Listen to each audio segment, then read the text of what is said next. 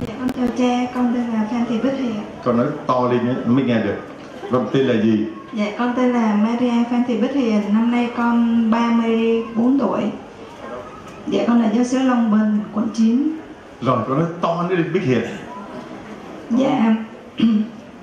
Con được ơn của con thằng bé này. Nó bị bệnh mô bào. Về xương nên là bệnh gì, bệnh về xương nghĩa là bệnh sao? Dạ cái con virus đó nó ăn vô xương của con, chân con con ăn hết xương luôn. Về tới lúc con phát hiện ra thì bé nó ăn tới 6 xăng xương ở dưới cái gốc chân dưới.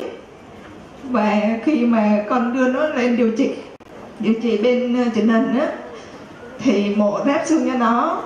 Và con, bác sĩ hẹn ngày mổ con về thế là con vô trẻ con xin lễ. Cầu nguyện hẹn lên ca mộ để con con nó được uh, bình an và mạnh khỏe. Khi mà lên ca mộ bé nó sốt. Con cũng làm liều con cho nó uống gói hạ sốt đó. thế là lên ca mộ bình thường. Tới lúc mà ca mộ ra thì con con tới chiều tối bác sĩ báo là nó bị thiếu máu. Hay là phải vô truyền máu truyền máu cho bé thì nó lấy ven, bình thường đã lấy ven rồi.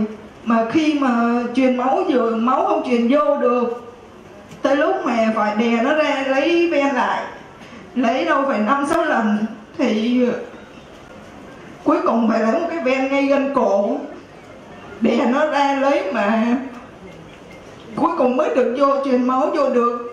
Và truyền hết một bịch máu mà lúc đấy thì chỉ có một mình con trên đấy thôi. Lúc ấy con rất là sợ.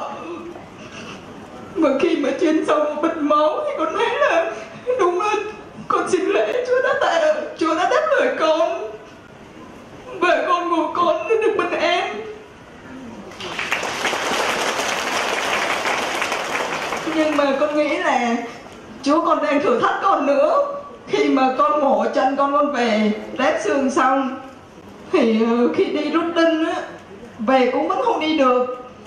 Cho tới lúc mà nó lăn lộn nó khóc nhiều quá còn đi làm về con lại để ý trên chén nó lại nổi lên một cái cục u lên nữa. Còn đi uh, siêu âm chụp phim thì bác sĩ ở dưới đa khoa dưới thủ đức á, thì nói là có hiện tượng ừ, hủy xương giống như cũ nữa rồi.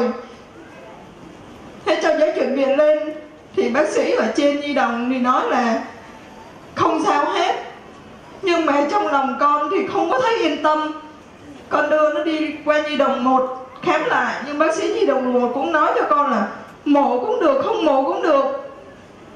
Cho tới lúc mà con thật sự là ăn tết xong á thì con bảo là con không thể nào chịu được nữa.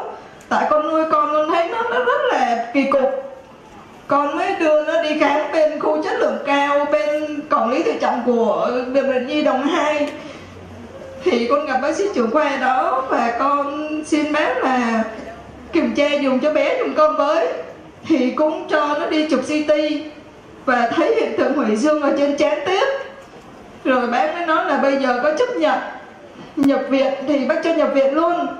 Nhưng mà nay là thứ bảy và chủ nhật thì bác cũng không muốn làm gì hết nếu mà nhập viện thì sang thứ hai nhập viện.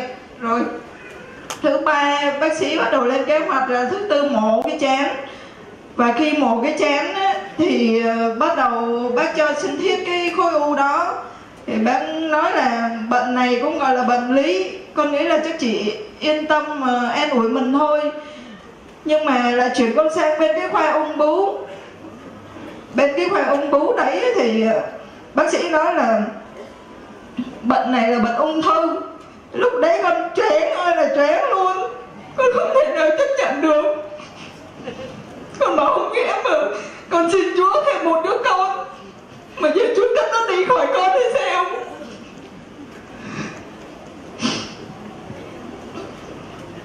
Rồi bắt đầu ờ, chuyển qua ung bướu thì ờ, bác sĩ bên ung bướu nói là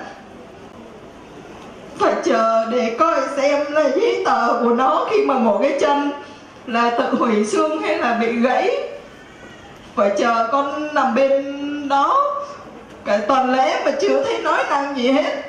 Thế là con cầu nguyện lòng mấy anh chị lên thì cứ bảo là hôm bây giờ mày cứ lấy cái cuốn sách cầu nguyện lòng Chúa thương xót đi hay là con cũng cầu nguyện lòng Chúa thương xót. Và ở nhà mẹ con cũng nhờ hội lòng Chúa thương xót ở nhà thờ ấy, cầu nguyện dùng cho con và tới sáng hôm sau thì bác sĩ nói thôi không cần phải kiểm tra gì nữa hết. Cho chích luôn. Hay lúc nãy là con nghĩ thôi và là Chúa thương con rồi. Là Chúa đã cho con tìm ra căn bệnh của con con và nó điều trị. Và đến nay là coi như là bé khỏe lại bình thường và đi được bình thường à, đi rồi đi rồi Đấy, đi rồi đây các anh xem một đứa bé mà nó bị ờ, uh, xương ăn hết cả chân cả đầu mà hôm nay nó đi lại trước mặt chúng ta. Như là một đứa bé bình thường. Thì một đứa bé bình thường như là một đứa bé bình thường. Rồi. Amen. Amen. Rồi nó tên là gì con? Dạ ờ, tên là Nguyễn Ngọc Thuận. Dạ năm nay cháu 3 tuổi xin Chúa, chúc lành cho Phật nha. Chúc lành cho con nha. Thưa chị em, có thấy nó có sao không? Đây, ai không nhìn thấy cái bế cao lên cho thấy nó đấy. Ây!